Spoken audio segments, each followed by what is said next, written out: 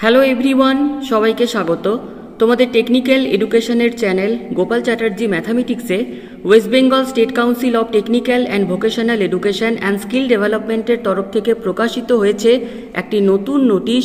নোটিশটি প্রকাশিত হয়েছে আজ, অর্থাৎ third October two thousand twenty থ্রিতে নোটিশের যে বিষয়বস্তু in partial modification of council's notification regarding verification of papers of even semester examination vide memo number dated twenty seven September two thousand twenty three This is to inform you that the concerned students may apply for verification of maximum three papers. অর্থাৎ state কাউন্সিলের তরফ থেকে জানানো হচ্ছে যে state council প্রথমে যে verification সংক্রান্ত নোটিশ প্রকাশিত করে twenty seven September two thousand twenty থ্রিতে সেই নোটিশের কিন্তু সামান্য পরিবর্তন করা হচ্ছে।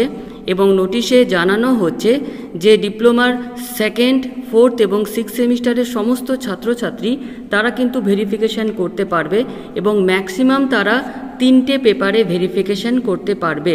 And they have to pay an application fee of rupees one hundred per subject through online mode debit card credit card net banking or UPI এবং এই প্রত্যেকটা পেপারের জন্য তাদের যে ফিস ধার্য করা হয়েছে সেটা হচ্ছে একশো টাকা। এবং এই একশো টাকা পে করতে হবে তাদের অনলাইনে debit card credit card net banking বা ইউপিআইয়ের মাধ্যমে। A link captioning verification of event semester examination will be provided in the home page of the Council's website www.webscte.co.in on 3rd October 2023. অর্থাৎ স্টেট কাউন্সিলের যে অফিসিয়াল ওয়েবসাইট সেখানে কিন্তু আজ থেকে তোমাদের একটা লিঙ্ক ওপেন হবে verification of even semester examination সেখানে গিয়ে তোমরা ভেরিফিকেশন করতে পারবে।